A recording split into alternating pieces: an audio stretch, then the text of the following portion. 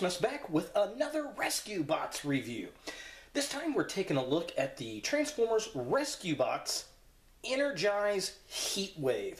So this is, I believe, the second wave of Rescue Bot figures to come out, and they kind of changed them up a little bit in the fact that we've got this translucent blue on the figure themselves I'm not sure if they're the exact same figures. I think they're a little bit smaller than the initial figures.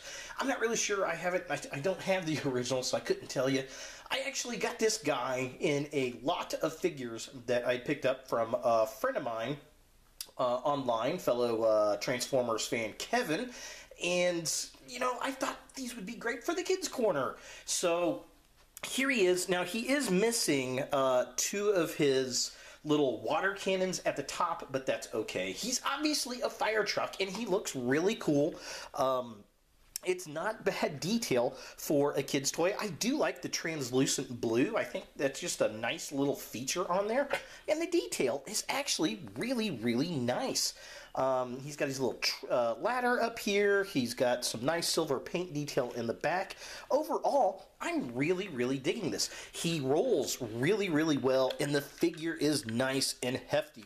Um, if you have a small child, like, I don't know, four years old, four to four to six, I would say this figure is perfect for because it's going to take the punishment. Now, you'll probably lose the pieces up here as this figure has in the past. I'm sure uh, this was in some child's collection, and um, those parts are long gone.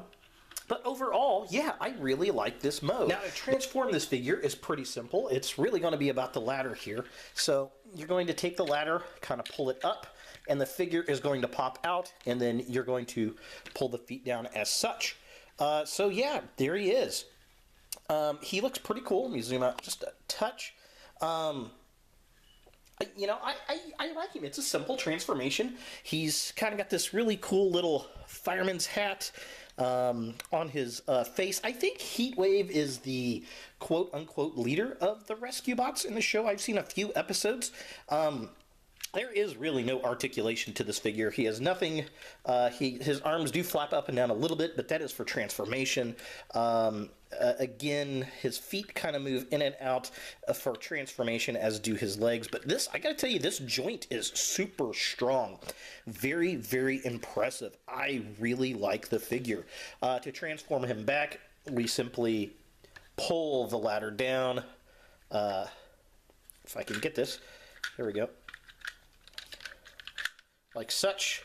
Put the feet in, and there he is back in his vehicle mode. So, is this something that you want in your collection? If you have kids, absolutely.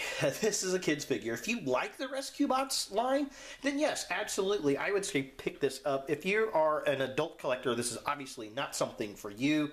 Um, but it's definitely something fun for the kids, and I would highly recommend this guy for any child that is a fan of Transformers under the age of six.